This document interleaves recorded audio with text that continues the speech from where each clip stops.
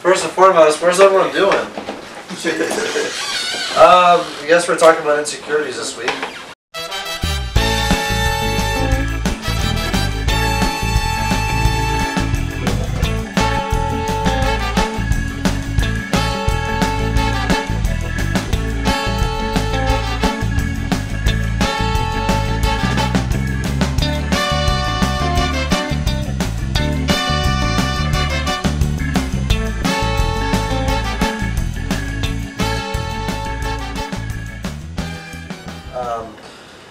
I guess what we can do to start out is just start out with some of my own insecurities. Um, you know, I think one of my biggest insecurities probably was uh, just my cowlick. It sounds weird, but so I had that for years, which is the front of my head where my hair actually goes up. But uh, that was an insecurity for a while because I felt like no matter what I did, I couldn't put it down. Uh, that bothered me for years, and it kind of actually affected how I acted in front of other people. So, what were you sharing? about Insecurity. insecurities. So like, give us uh, give us something like okay. So give us an example of insecurity, uh, or what does it mean to you? Insecurity. When um, I was in high school, when I was really skinny, couldn't put on size, and he put on size, and I got made fun of a lot, and it caused me to like get into lifting and working out and whatnot. Um, so that's one example for me. There's probably more personal ones we could all share, but that's just the basic one. I think uh, one for me would be probably um being in the dance world. I don't look like the other dancers. Uh, my dances and my choreography didn't look like anybody else's, so uh, it was a major insecurity for me, especially because a lot of my a lot of my teachers and a lot of people that looked at what I did, they didn't really like because it wasn't their style. So I guess that was one insecurity for me. Um, I think there there's something we got to talk about. So when everybody has insecurities, right? So we're all we all deal with we all deal with insecurities. So I guess how do we how do we as a, as a, you know a group, nation, maybe a family, whatever? How do we overcome insecurities?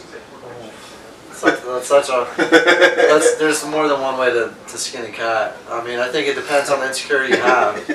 Uh, uh, well, with my insecurity, my cat, like, there's no way to overcome it. I mean, That's it's, it's a mental fun. thing. I can't change the way my hair looks. But I think the biggest thing is realizing that we aren't just because we're insecure. That doesn't mean that we're not good at something or that we can't succeed in that field or area. Uh, so I think just being confident, and you can develop confidence uh, from acceptance, accepting who you are, and trying to work at um, conquering that insecurity over time, whatever it is. I mean, it's kind of a cliche answer, but I don't Yeah. know. Like you said, certain insecurities you can't you can't change, like personal appearance. Cer- certain ones like you're gonna you're gonna have that unless you do plastic surgery or get like Bosley for your cal- cowlick. Yeah. I don't Pretty know. realistic to change. It's not that big. But I think deal anymore. overcoming them, um, to be more on topic, it's just I think a constant exposure to the insecurity. Yeah. I mean, even even then it might be tough. So it's like, I don't know. That's the only thing to me that's really work though. Is really just stretching yourself and and making yourself uncomfortable in an area and trying to, you know, it's not that big of a deal. It's a part of who I am. Certain certain insecurities. Because certain things that are we're insecure about, it's not always really that much of a negative thing to others, at least. So, so in other words, you're saying that um, in order, if we overcome an insecurity, that's one way of making us stronger. Oh, definitely. So, so I mean, by, I think for me, I think mostly for insecurity. I think for me, like uh, it's it's more than just an acceptance, sort of. It's more of a, um, I know the insecurity is there, It's always a but why do I have to be afraid of it? Yeah. You know what I mean? Like, why am I afraid of my own insecurity, or why of? And the weird Why? thing about insecurities too, you could maybe carry one around for a long time, whether it be appearance, whatever, and then you could break it like instantly. at Right. times, sometimes. I, so it's like weird to really gauge. Like I was sharing, like working through it over time, basically by exposing yourself. But I don't know. You could just randomly have a change of heart, change of mind, and overcome an insecurity. Hmm. So it's one of those things you never know. Like What do you think, Steve? Um, yeah, I think that's very true. Um, So, but yeah. Anyways, um, I think that's really true. A lot of my insecurities, I think, uh, at the end of the day, we all have them, and no matter if, if you want to deal with it or you don't want to deal with it, you have to deal.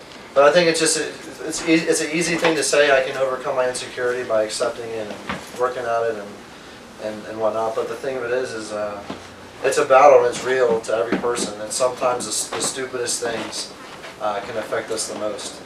So I mean, that's pretty much my opinion on that. Um, What'd you say the difference between insecurity and fear is? Oh, that's a good question. Um, I think that just because you have an insecurity doesn't mean that you fear it. Um, but I do. So I don't. And I think the difference that I think about. Let me ponder this. I think I think a fear is. Goodness, man.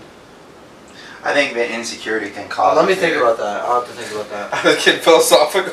No, that's. I think I think insecurity can cause a fear. Um, one thing um, is let's let's look at insecurity. let's look at examples. So let's take any any kind of example of a leader through history. Um, they all probably have insecurities, right? But that didn't stop them. Um, I guess we could look at examples of how they overcame that. Um, yes, insecurities can put fear into you, but knowing that you have an insecurity is not necessarily being afraid of it. Well, because you you could be insecure in the sense that you're not confident, but just because you're not confident doesn't mean that you're fearful. So Right, it's, it's basically two different things. Um, I think that that's the biggest thing to distinguish. I think both of them are, are negative forces against us as people. So they're bo- both things that try to hinder us. And I think at the end of the day that um, a- an insecurity can turn into a fear if you consistently lose the battle or you consistently um, think about that insecurity and you don't try to overcome it. Right. So I think that's something to think about as well. Um, so, what do you think, Jack? Just, um, the thought I was thinking of at the moment was just that um, fear of rejections of others is a big reason why people, I think, have an insecurity. Or let me let me talk Because about maybe this. they're cool with it for themselves, but like they're just afraid of how others may perceive their insecurity. Right. Say have a cankle, I don't know, something like that. Like, it, like it really. Some I think- I don't know. I can't. Where I don't know. How I was going with that. But Let I was just what I was saying. The.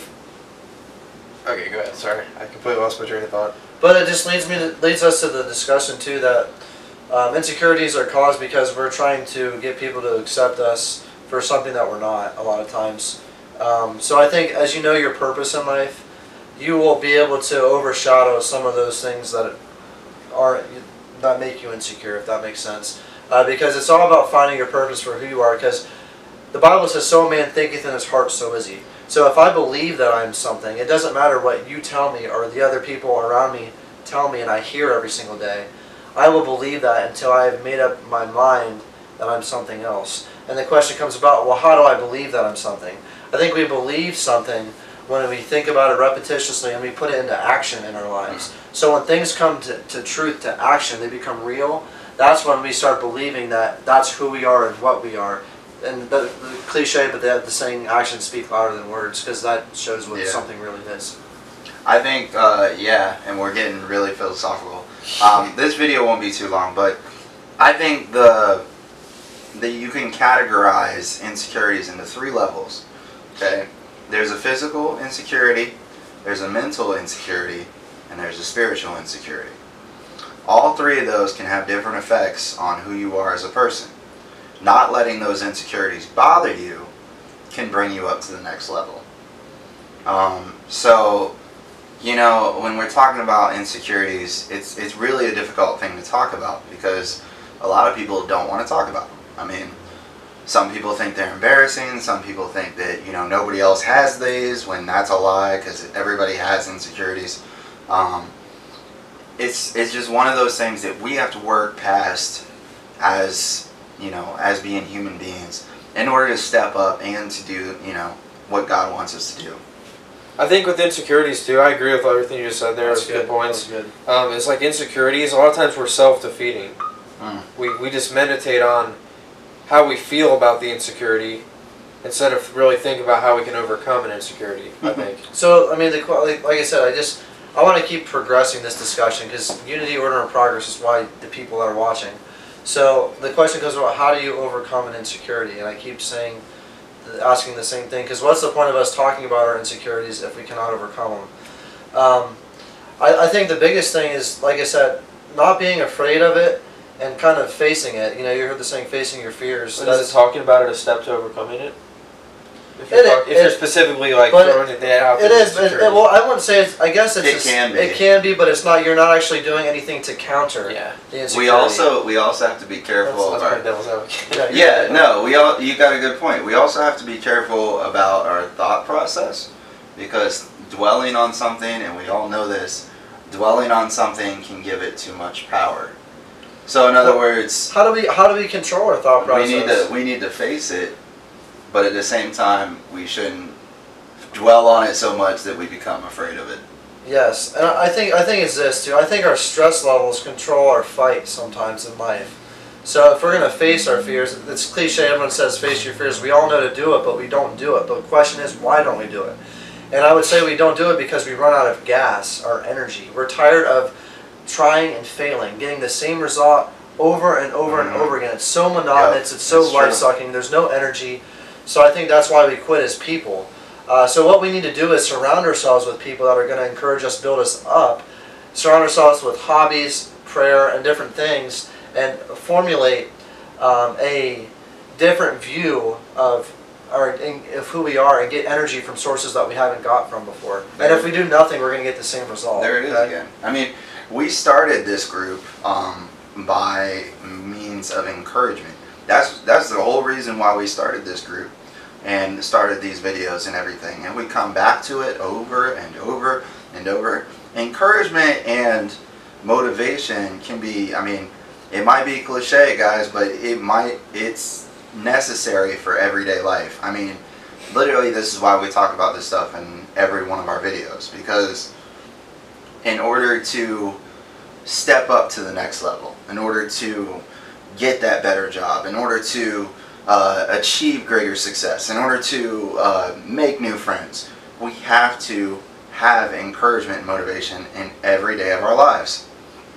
I, th- I think that's good. I, th- I think you're never going to develop. There's something about energy and being charismatic with people that attracts them. Uh, so you're never going to end up developing a friendship with somebody if you have nothing to offer them. Because we're all needy people. So I think that you have to bring energy. and Then as you do that, people will cling to you. Video of Josh actually right now. He's actually that's probably his best asset is his energy. And I can know nothing about him and still want to hang out with him just based off his body language, his outlook on life, and his that big guys smile that never Yeah. fails to to brighten my day, even Help when I feel like out. my day's Get been terrible. get out so there. I'll give it to you for a second. Um, I don't really know what I'm gonna say. Um, Talk about encouragement and motivation. Well, How does that yeah. How does that help against insecurity? Because like you said, because it's like if you're if you're drained mentally, you know, spiritually, that kind of thing, you're not gonna want to try to work on an insecurity. You just go to bed, sleep, th- uh, sleep that night. Oh, I'm not gonna think about it. I'll wake up. It's a new day. but I think it and then you restart the cycle of, oh, this insecurity. I'm thinking about it again, but we don't act upon it. I think to really break an insecurity, like I said, you have to Let me- actively be wanting to attack it. and let me say this too, and you can hold this camera. Just hold the camera for me. I don't. This is weird for me to put it in front of me. For some. Anyways, what, what I want to say though is, I think it goes Anybody wants beyond. to skin a cat. it goes, right. It, it goes beyond just the day though. Obviously, Oh, Jay's man. saying that you know when we get insecure, a lot of times we give up, we go to sleep. Tomorrow's a new day. I think we hold these insecurities for months, years, and even sometimes you know 10, 15, 20 years in our life, it actually affects us as people. So I think that it's more cle- more it's much more difficult for us. Sometimes we, the root of the problem, getting to the root, is very confusing and very hard to get to. Like we see the outskirts of the problem and we're like, okay, I have to fix this. But the root is so much deeper and that's why they don't get fixed. We mm-hmm. just, a lot of times need other people to help us identify that root, especially people that are close to us. Mm-hmm. That sometimes you ever heard the saying somebody knows you better than yourself? That kind of that's that's that's kind of where that comes from. And then as we identify that, um, we're able to counter that with efficient tactics. I challenge, you know, also another point is, um, you know, when you said somebody knows you better than yourself, I mean, when we're looking at insecurities, I mean, especially for us as Christians, don't we think that God knows us better than ourselves? Absolutely. And we, we want to believe the lie that we can't do something or we can't be something, but the whole time He's telling us we can. So I mean, that's another way No to, to think about it, No uh, especially for us as believers. Oh, yeah. it's, it's a positive way of thinking about it. Definitely. That's good. Any I was last thinking about it like this. I had one last thought, like connecting others might know you better than yourself. Think of it like uh, when you check your body. This is more for those who are constantly trying to change their physique. When you look at your body every day, you're not going to notice any changes. But when you Instantly. don't see someone for six months, you see a family member. Wow, you've got humongous, or if that's your goal, or wow, you've lost so much weight. They notice that outs like like once again, it's an outside source giving you a more accurate picture than what you have of yourself, your, your vision at the moment. You know what I mean? And I just yeah, you're exactly right. And I think this kind of is an off topic like from, blinded by from what you said. Yeah. So other people sometimes their encouragement will cause us to kind of feel good about ourselves and give us Mhm. a breakthrough. And a lot of times we don't see the things we're good at. But what I wanted to say too, really quick though, is I think a lot of times our insecurities we make mountains out of molehills. So a lot of times it's not that big of a deal. And we have we have made it into a big deal because we have continued to believe a lie over time, or we've continued to allow other people amplify um, something that's not very very uh, significant or as meaningful as people say. And over time, actually, that will wear at you, and you'll almost you can change your identity if you carry that insecurity and allow it to grow and grow and grow, and you'll become a completely different person than you once were. and that goes back to giving power to it. Um, so I want to encourage you guys online, and I want to encourage you guys on on YouTube and everybody watching this show that you know we all have insecurities. Number one, you're not alone. Number two, there's three levels. Remember, I told you there's physical, mental, and spiritual. So identify which one of those is your insecurity. Well, And then the moral three. Yeah, that's Yep. true. And then on top of that, you know, the way to overcome encourage or in, overcome insecurities, I can't talk, um, is through motivation, encouragement, not giving it power. I mean, just look at the positive aspects in your life, um, and knowing that God believes you to be something bigger than what you may think yourself to be. Okay. Positive influences go with that too. So surround, don't surround yourself with others that are gonna keep like attacking your insecurity. Yeah. Right. You and know? I, I just I hear sense, this. Let me People just don't though. People No, don't they really don't. themselves with the right people. they Let me wonder just- why they're not changing for the better. Let me just share this really quick. I just feel like I just this closing comment. I was talking to this girl for a while, and I'm not going to disclose her name. But anyways, I always was told I will never become this person that you are, and just this whole idea is the fact that a lot of times as people we accept the fact that we can never change, even if it involves a, a bunch of effort, time, or energy. So I think that I just want to encourage you guys because you're watching this video that no matter where you're at, you guys can change and you guys can formulate a lifestyle that you really want to be to become. And you don't have to let that set you back because that's the whole point of making these videos so that you guys will recognize your insecurities attack them counter them back and become the person that you want to become rather than letting them hinder you and you becoming a person that's complacent mediocre or unsuccessful in your eyes. So Like we said, there's more than one way to skin a cat. That's gonna be the title of this video. So, uh, guys, remember that. Stay positive. Be a positive outlook. And from the rest of us, peace out later. See you next week.